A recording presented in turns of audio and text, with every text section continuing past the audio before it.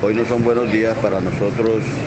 en especial para la familia Tránsito y sobre todo para la familia Mesa Mesa allá en el barrio del Parnaso, porque hoy ha dejado de existir nuestro compañero y amigo Orlando Mesa Mesa, quien laboraba en la institución por más de 29 años. Orlando fue un gran amigo, un gran, fue un gran compañero, nos duele mucho su partida,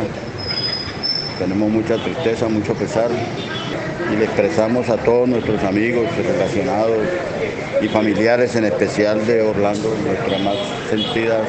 condolencias. Sé que es difícil asimilar estos momentos, pero con el amor de Cristo nuestro Señor lo podemos ir eh, minimizando para, para aceptar esta partida tan muy temprana de Orlando.